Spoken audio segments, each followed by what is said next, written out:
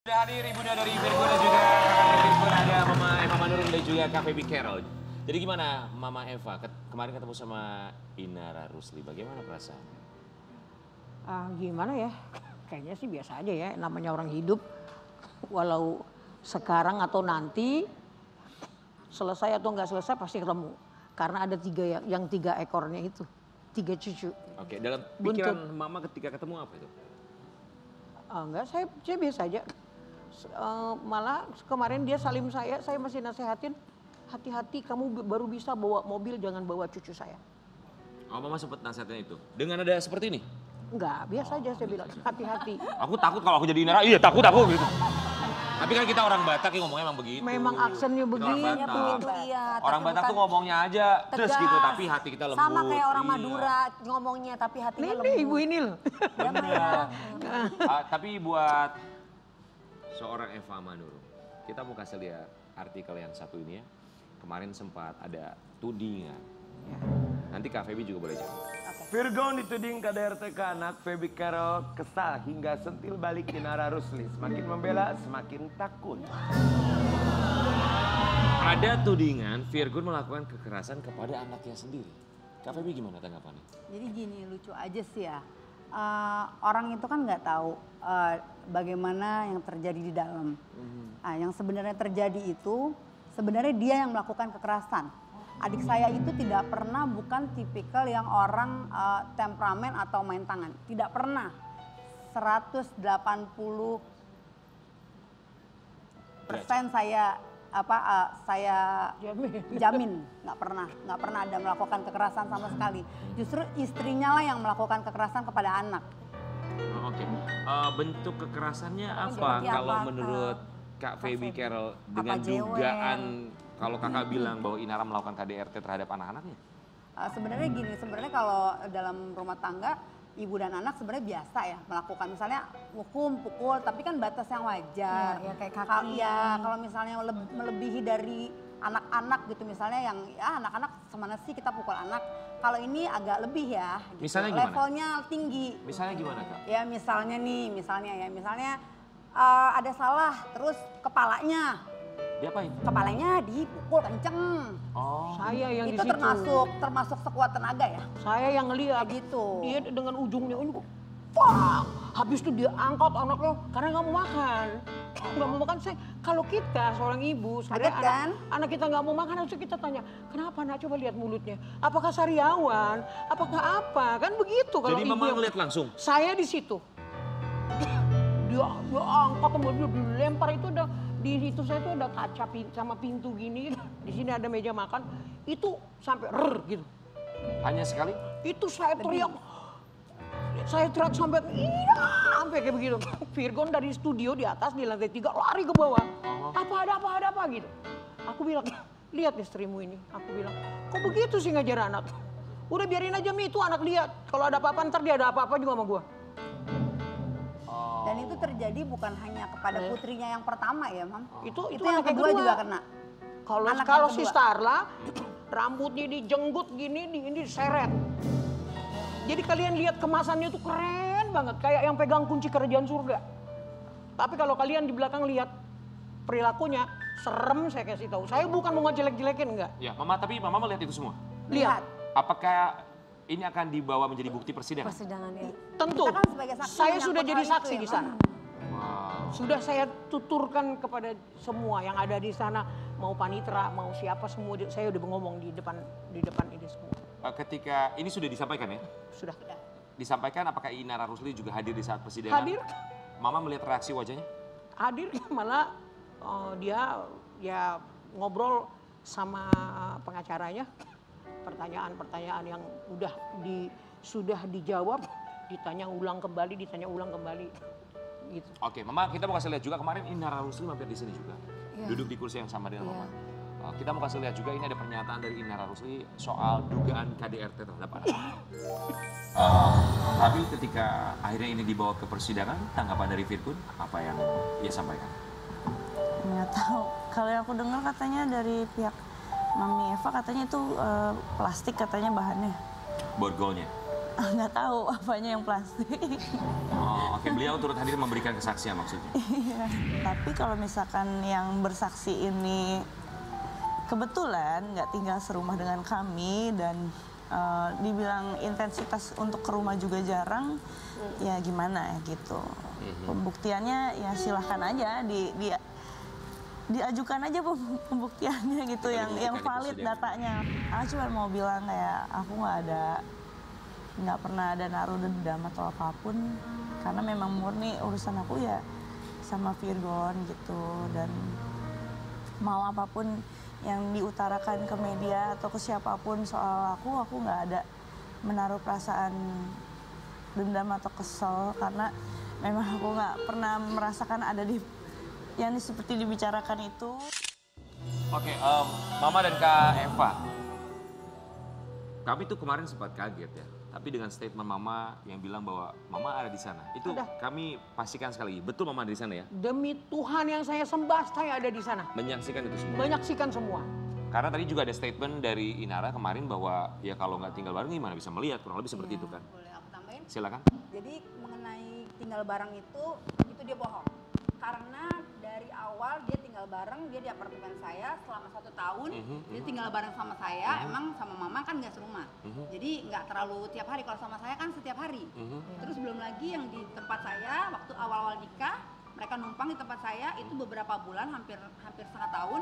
Artinya kan kita udah pernah ada kebersamaan. Selama satu setengah tahun itu kan udah cukup lama ya. Oke. Jadi jangan bilang tidak pernah tinggal bareng. Oke, ketika tinggal bareng sama Kak, ketika tinggal bareng sama Kak Feby, apakah Kak Feby melihat ada satu dugaan tindakan kekerasan terhadap anak-anak? Kalau dulu itu waktu anaknya per- baru satu, dia belum sampai selevel ini. Mhm. Ketika anaknya sudah dua, baru mulai terlihat lebih keras. Mhm. Gitu. Oke, tapi Mama sendiri yang menyaksikan ya? Aku Saya juga menyaksikan. menyaksikan. Oke. Justru aku kita beda-beda. Oh, kalau Dia Kak Feby? menyaksikan mungkin yang eh, yang lain, aku yang menyaksikan sering kepala. Kepala di? anak yang pertama, terus yang kedua sering dipukul. Oke, baik. Keras ya. Itu pengakuan dari Kak Feby dan juga Mama Eva Manurung ya. Tapi kita juga mau kasih lihat ada artikel yang satu ini. Ini ada satu tudingan juga. Tuding Virgon lakukan kekerasan Inara bawa borgol ke pengadilan. Eva Manurung beri klarifikasi. Oke, eh, Kak Feby mohon maaf. Kak boleh ya ya? pakai WHM-nya ya. Oke, ini berbicara mengenai borgol. Ada borgol yang dibawa ke pengadilan. Mas- pengadilan. Maksudnya borgol itu apa ya? Begini loh, eh, kemarin itu kan memang ada barang bukti ya. Eh, dari pihak kuasa hukum membawa kunci yang katanya kunci borgol. Kuasa hukumnya siapa? Kuasa hukumnya dia dong. Oke. Eh, terus gi- jadi gini logikanya. Kalau borgol itu yang kita tahu kalau borgol itu kan untuk orang eh taruhlah narapidana misalnya gitu ya. Itu kan ukurannya udah size-nya udah besar, Iya. bener nggak? Kalau anak-anak berarti kan itu borgol-borgolan. Artinya bukan borgol yang bener yang mana mungkin lah eh, mereka membeli borgol yang beneran. Artinya borgol borgol plastik mungkin. Borgol anak-anak katakanlah demikian. Tadi seperti eh, Inara bilang bahwa bogor plastik kali gitu kan. Dan, dan itu juga kalau borgol yang beneran mungkin ibu bapaknya kan yang make. Buat yang lain. Oke, Ah, tapi mohon maaf ya. anak kecil nggak mungkin. Iya, Ah. nggak mungkin ada size anak kecil. Saya nggak paham apa hubungannya dengan borgol. Apakah anak-anak pernah di borgol? Apa maksudnya gimana sih? Jadi begini, kalau untuk eh, aku sih nggak yakin kalau adik aku itu Biar yang menyuruh beli ataupun yang yang apa ya, yang suruh pakai borgol itu untuk anak-anak. Jadi artinya eh, ini dugaan ya. Kalau dilihat dari karakter dan yang kita tinggal bareng itu lebih ke istrinya. Ini juga dugaan dari kakak ya? dugaan karena kalau yang masalah beli aku nggak pernah menyaksikan itu beli Hmm. jadi aku kurang tahu kalau masalah beli tapi aku yakin itu bukan bukan bukan otaknya adikku Oke, pasti Virgon juga cerita sama Kak Feby dan juga sama Mama Eva ya atas kasus ini dengan adanya eh, dugaan KDRT terhadap anak. Tanggapannya Virgon ke Mama Eva dan juga Kak Feby apa curhatnya? Bukan, gini. Bicara borgol-borgol itu begini. Anak-anak kalau salah, hal yang wajar kita suruh berdiri di sana, angkat kakinya. loh Ya kayak aku dulu masih kecil juga gitu. Angkat kakinya. Daripada kau pukul, lebih bagus kau ikat tangannya. Sebenarnya Kasih kita- pengertian. kita, kita tidak menyetujui ya Iya, iya, tapi iya. mungkin daripada KDRT anak Iya. lebih baik tidak dipukul tapi mungkin diborgol mungkin seperti itu Iya, ada kan borgol-borgolan mainan Ada. itu. Iya, itu Borgol-borgolannya Ya, borgolan keras. kok. Jadi kamu duduk di situ, kemudian saya pun sama Virgon begitu. Kamu duduk situ, tangannya saya ikat. Kamu duduk situ sampai kamu ngaku kesalahan kamu, kamu tahu kesalahan kamu sampai di mana baru makan. wajar itu orang tua mengajar mendidik anak. Saya anak Ya, militer, edukasi, ya. bapak saya angkatan udara, saya dididiknya begitu. Iya, iya, iya, iya. Iya. Oke, baik. Jadi banget. menurut eh, Mama Eva dan juga Kak Feby itu satu hal yang biasa wajar aja gitu ya, masih di batas masih wajar ya. Ya kan masih lebih wajar dari. KDRT. Oke. Aku tidak bilang wajar ya.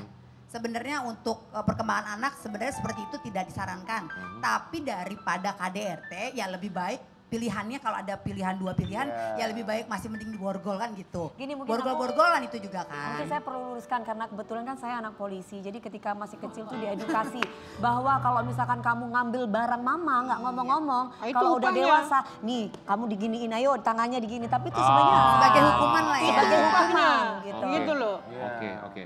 Tergantung pembawaannya seperti apa. Iya. Oke, baik.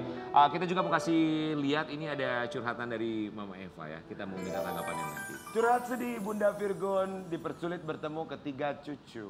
Kemarin uh, saya juga sempat tanya sama Inara, memang uh, opunya anak-anak tuh mamanya Virgon ketemu sama anak-anak kapan sama cucu-cucunya? Udah lama dia bilang. Emang dipersulit seperti apa sih maksudnya? Bukan gini, em, setiap kali saya telepon, telepon video call, saya menghubungi pembantunya, namanya Yeni.